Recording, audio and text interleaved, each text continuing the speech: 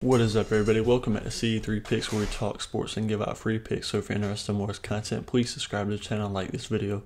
Also, if you're interested in my Instagram, my sports pick group, where my VIP picks are, that'll be in the description also.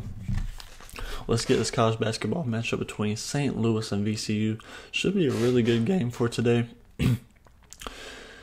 St. Louis 11 and 4 in the season, 4 and 3 in conference play, which means they're like number six in the conference standings right now because they missed a lot of games this year. They went in a stretch where they missed like six games, I think. But from the games that they came back, they're four and three in their last seven.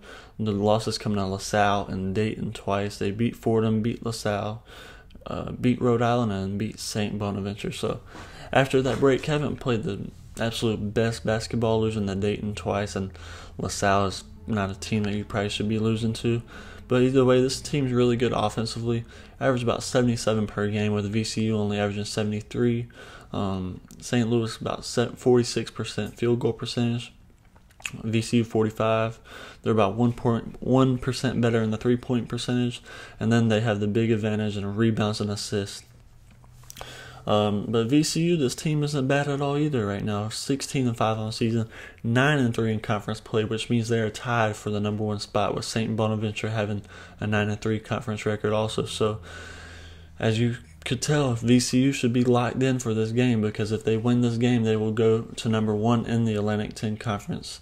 Um, except for when St. Bonaventure plays. If St. Bonaventure plays, that it'll t- still be a tie if both these teams win. But like either way, VCU should be locked in because this game can really decide if they're number one or not. Um, so like I said, this game should be just be really close all the way through. And uh, St. Louis, they just haven't played amazing as of late. So I'm going to take VCU plus four and a half, and that's going to be my free pick. If you're interested in more of this content, please subscribe to the channel and like this video.